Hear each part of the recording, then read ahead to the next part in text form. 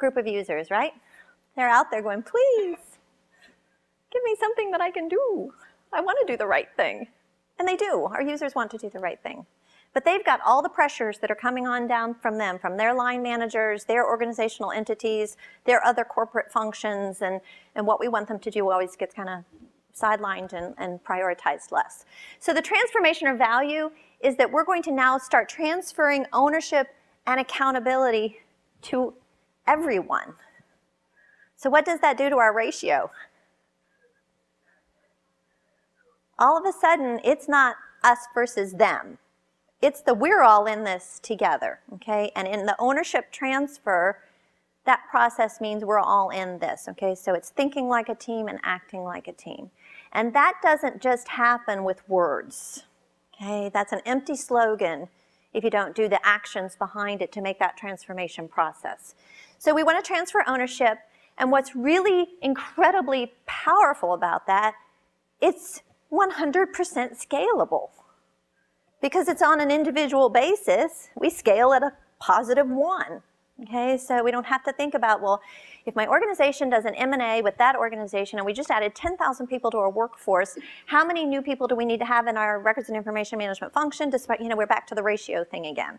Okay, so it's entirely scalable. It's also measurable because if you start setting standards for behavior that you're going to put into the accountability matrix, if you will, all of that's measurable. So you measure what you want people to do oh, that means we need to decide what we want people to do. Okay? And what I see happening in a lot of organizations is we publish the policy and we build the standards and the guidelines and the procedures and all of those things, and we present it to the organization and they read it, and we hope, we think. But do we ever say to them exactly, this is exactly what I need you to do? Scripting that set of behaviors. There's a textbook, uh, not a textbook, a, um, a, business book that's called Switch. Has anybody read Switch? Uh, by Chip Heath and Dan Heath. They also wrote Made to Stick. And within that um, text, it's a change management book. It's an organization transformation book with lots of great examples and things way outside of business, but into culture and society and some really fun um, case studies. But he talks about the concept of building a destination postcard. I love that for our industry. If I could send all of you a postcard of this transformation where we've transferred ownership and accountability to everyone, we're fully scalable and everybody's um, results are measurable, what does that postcard look like? Could you come up with an image what that might look like?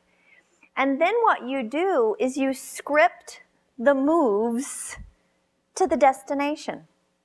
Okay? We do that all the time. If we're planning a vacation, scripting the moves means taking the steps. How much is it going to cost? When are we going to go? Let's make reservations. What do we want to do? That's scripting the move to the destination. But until we start thinking about this from a transformation destination component, we don't really script the moves to our end state. And so that's where we're going to go through that process.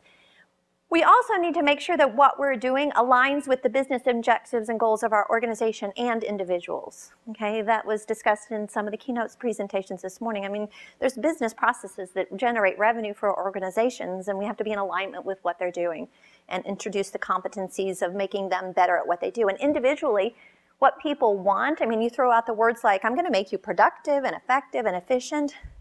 I don't know what productive, effective, and efficient means. Okay, you're asking me now to translate that. So what I'm going to tell people is, I want you to have quicker access to the information you need to do your job. What information do you need to do your job? Tell me. Where is it? How do you get to it today? How can we get to it faster? I want you to be able to count on the information that you find, that it's the latest version, that it's got a history of who's made changes to it, that if other people need to get to it, they too can collaborate. And all of a sudden, we're into features of the tool, but we're not talking about a tool. We're talking about individual benefits. So, what do people want? I have four words fast, easy, usable, and useful.